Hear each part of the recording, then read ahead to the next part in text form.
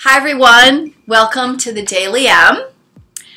Uh, this particular Daily M is on mastery, discipline, and what happens after you practice for a long while.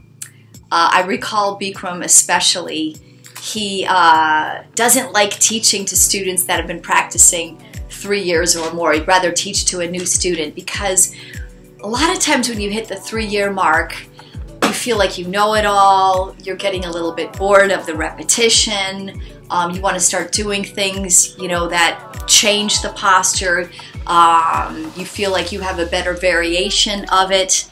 So I want to remind you, those of you that are out there that have taken the, the Bikram for a while, is that repetition creates mastery and you really have to dive into a discipline. And what I mean by that is a good definition of discipline is creating habits for yourself that um, make you more than what you are right now. I'll say that again. So, discipline is creating good habits that make you more than what you are right now.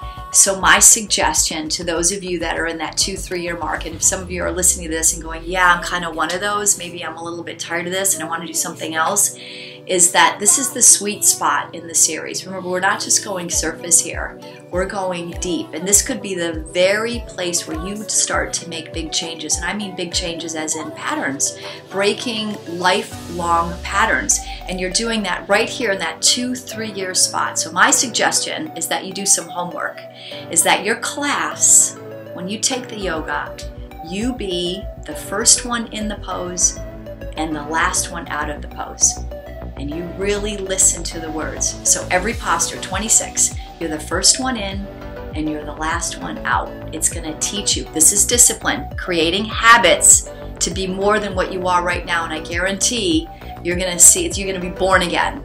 So it's going to teach you patience. It's going to teach you tolerance because you're going to want to get out of the posture have the teacher say change. You're also going to be tolerant of your own behavior because a lot of your uh, mind is going to be like, oh, do we have to do this again or can't we do something different this time? And also, it's going to help you dig into a different kind of determination. Um, you're going to have to use a little bit more willpower and your concentration is going to be different. So, there's a depth that you're creating. So, uh, for those of you that are in that two, three year mark, this Daily M is for you. So, remember, repetition creates the mastery, and you're here to become that better version of yourself. So, sometimes it takes up to this point for you to start to break patterns that maybe you're not even conscious of. So, I hope this helps. Thanks for listening.